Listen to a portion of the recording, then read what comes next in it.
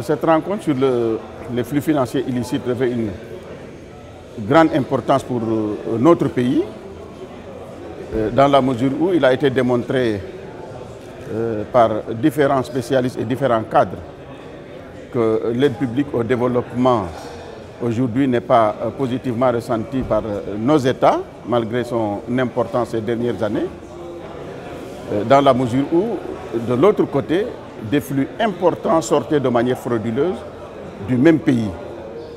Euh, c'est comme si donc l'aide publique au développement euh, euh, n'avait pas d'impact du fait de la sortie frauduleuse de ces flux financiers.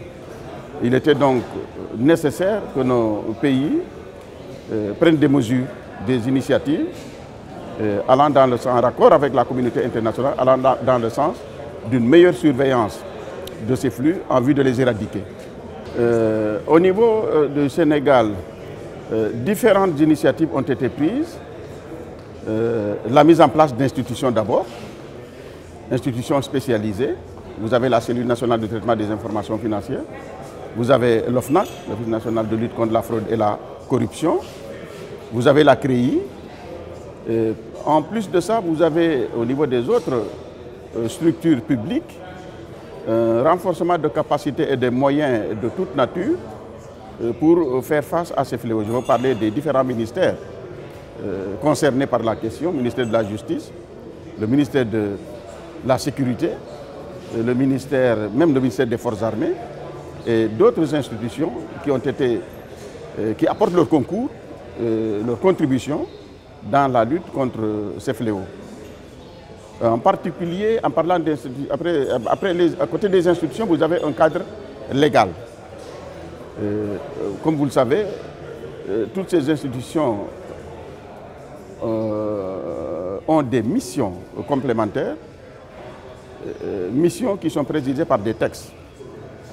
Un certain nombre de mesures importantes figurent dans ces textes, et ces textes, pour ne prendre que l'exemple de la lutte contre le blanchiment de capitaux et le financement du terrorisme, ces textes, pour les adapter à la réalité, les rendre plus efficaces, le cadre légal en matière de lutte contre le blanchiment de capitaux et de financement du terrorisme est en, cours de révision pour tenir en compte justement de tous ces aspects, mais de manière générale pour rendre le dispositif de lutte beaucoup plus efficace.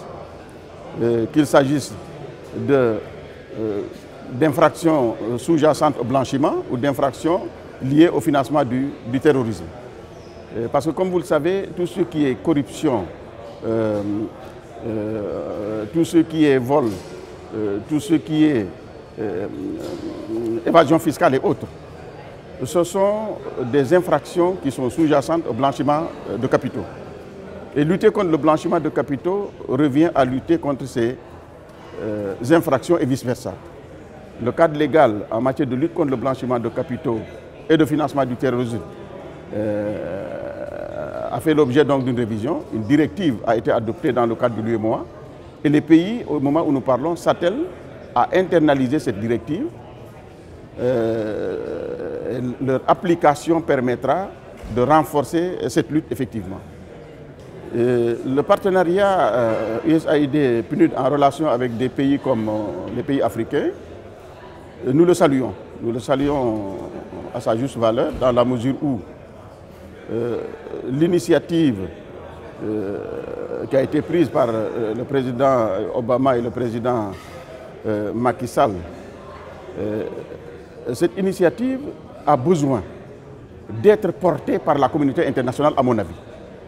L'initiative que le PNUD vient de prendre en organisant ou en co-organisant des rencontres de cette nature participe à la vulgarisation de cette lutte et à faire en sorte que, au-delà des pays africains, au-delà des pays africains en relation avec les États-Unis, que tous les autres pays du monde et toute la communauté internationale s'approprient cette lutte, si l'on sait que la criminalité financière est a une dimension mondiale.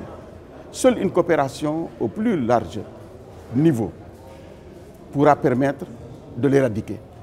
Et nous saluons donc à sa juste valeur cette initiative euh, du PNUD en relation avec euh, le gouvernement américain et les pays africains.